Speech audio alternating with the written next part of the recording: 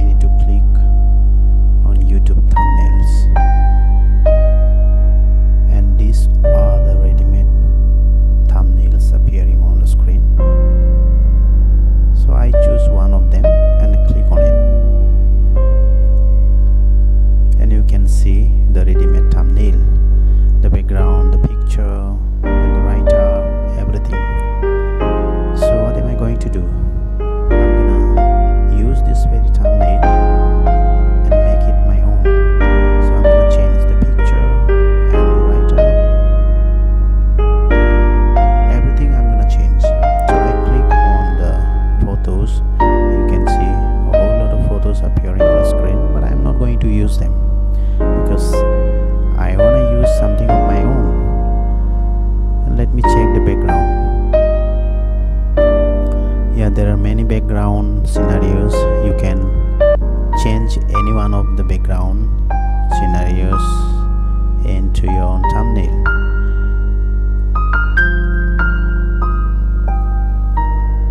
I click on the uploads. I have priorly I have uploaded only one picture so it is appearing there. So what do I do next? I click on the top and I go to my computer hard disk where I have priorly preserved some of my pictures. So I find and select one of them. Let me just find out.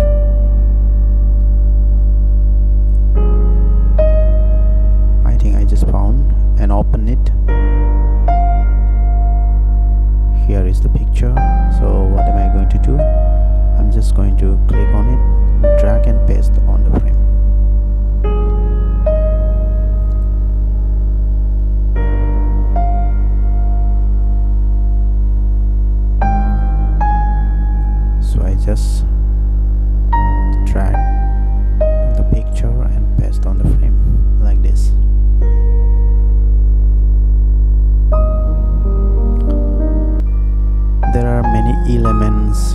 see on the left hand side of the screen there are many options where elements and photos things like this are available.